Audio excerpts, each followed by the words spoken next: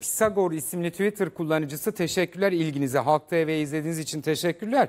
Ee, uğraşmış rakamları yazmış. 2001 yılında hangi tarım ürünü ne kadar üretiliyordu Türkiye'de?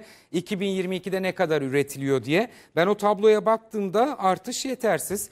Hani tarımda bitmedik iyi durumdayız diye iddia ediyorsunuz ama tarımda ne durumda olduğumuzu çocuğuna yaz meyvelerini yediremeyenler Anneler babalar çok iyi biliyor. Site aidatlarından hükümete ne? Zenginler zaten ödüyor demişsiniz bir de. Aynı tweetin devamında işte haberde açıklanıyor. Site aidatları durduk yerde artmıyor ki.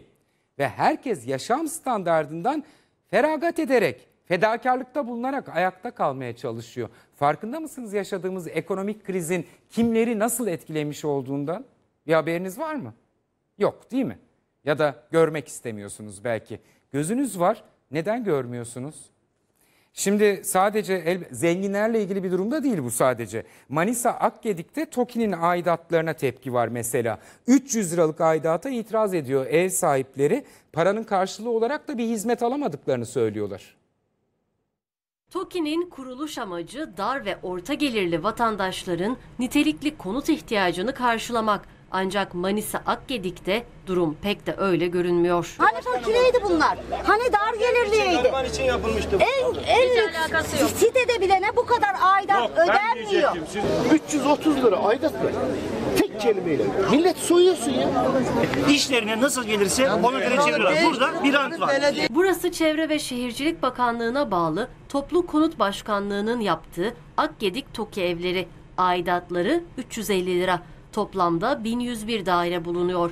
Her ay 350 bin liraya aşkın para toplanıyor.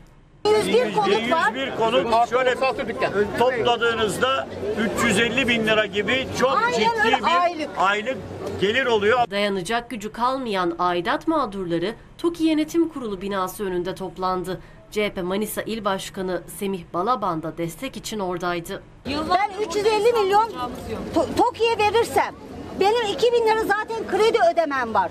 Etti sana 300 2350. E, e, elektrik gelmiş 200 milyon. Ben ne yiyeceğim, ne içeceğim başkanım?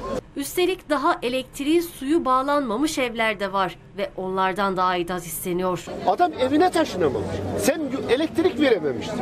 Su verememiştin. Bir kere bir şey yok. Aidatını ödemeyeni şeye veriyorsun. E, icraya veriyorsun. Bin lirayı açtığın icralıksın. Ev sahiplerine göre temizlik yeterince yapılmıyor. Peyzaj çalışmaları ise göstermelik. Burada peyzaj bakımı var.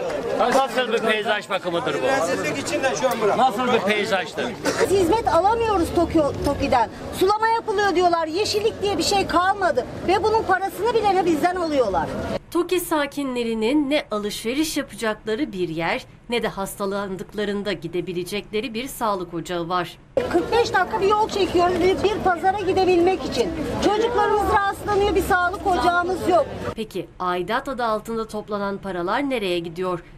Site sakinleri TOKİ yönetiminin incelenmesini talep ediyor. Yönetimin 4 yıldır yaptıklarının incelenmesi lazım. Hiçbir şey yok. Biz neye göre veriyoruz bu aidatı? itibaren site yönetiminin evraklarının incelenmesini istiyor. Yani hukuksal ne varsa, kim ne maaş alıyorsa, kime ne ödeniyorsa, yolsuzluk varsa hukuksal olarak bunun incelenmesini istiyoruz. Hukuksal anlamda